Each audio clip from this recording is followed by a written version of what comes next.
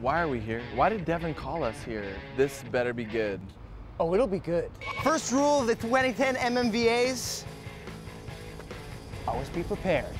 Hi, I'm Devon Soltendieck. You may recognize me from such shows as MMVA 04, MMVA 05, MMVA 06, MMVA 07, MMVA 08, and MMVA 09. We got a lot of lessons ahead.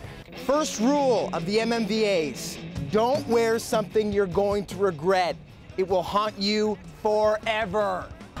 hey, this is not a game. Whoa, whoa. All right, I'm sorry. Just make sure you remember everyone's name. I'm here with Tori Spelling and guest. Hi. And guest. On the lighter side of things, let me just ah, squeeze in here. You're gonna wanna bring an umbrella. Just don't do what the other VJs did. Complain. It's like typical Toronto kid. The sky is gray. Do try to avoid uncomfortable situations. I'm not gonna lie, I'm on the internet a lot. I've got the internet at home and at work. I, I don't mean to brag.